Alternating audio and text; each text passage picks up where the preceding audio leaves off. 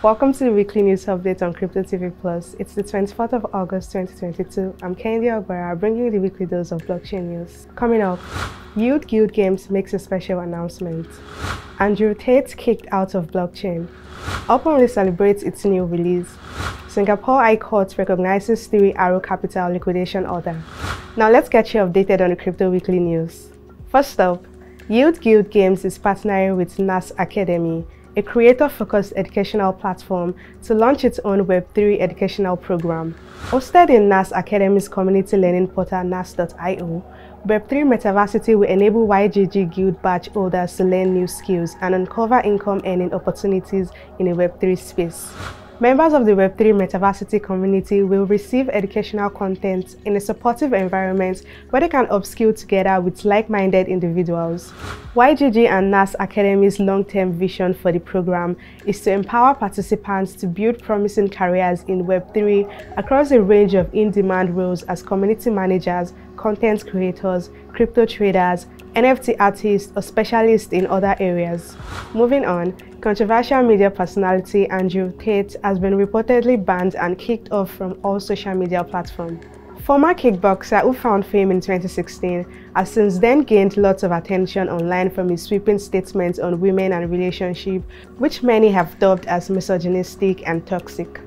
The entrepreneur and content creator has shut down his affiliate marketing programs at Hustlers University due to his recent Facebook and Instagram bans.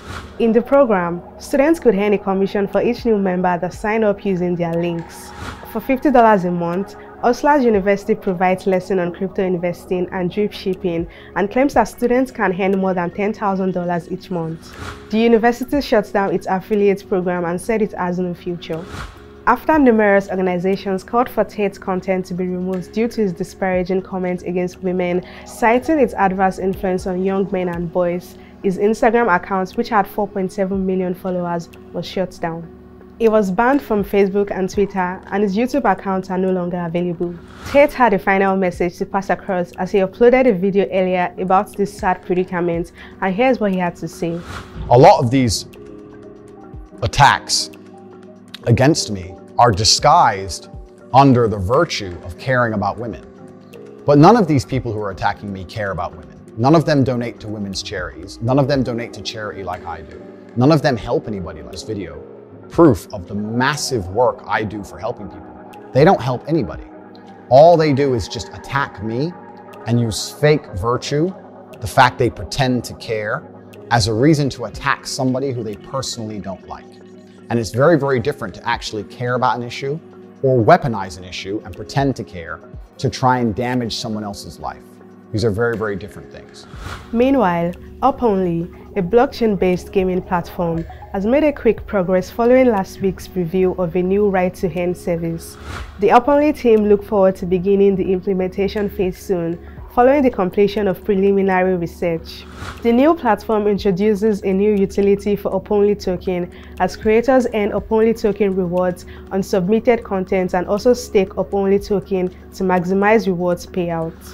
Uponly is poised to onboard more content creators to gamify through the platform. They reported that their developers will work on implementing a new API to support the new write to earn service.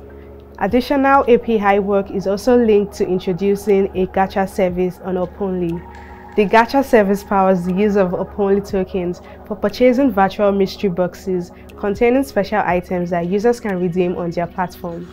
Uponly will continue to work on enhancing UI UX experiences across their prediction platform and tournament service.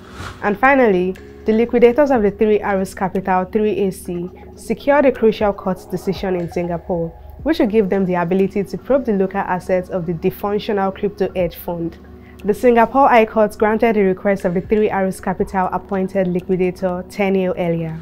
This means that the court now legally recognizes the liquidation order originally filed in the British Virgin Islands.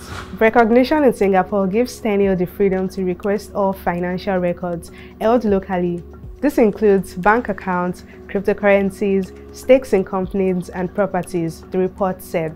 And that's it for the weekly news update here on Crypto TV Plus. For more market updates and all the happenings captured in the world of blockchain and cryptocurrency, visit our website cryptotvplus.com and also follow us on social media, Facebook and Twitter at CryptoTV Plus to get daily information on our programs. Don't forget to subscribe to our YouTube channel and turn on the notification button. And just in case you have any questions regarding any of the news, join me in the comment section below. Thank you for watching. I'm Kehinde Ogbara. Until next time.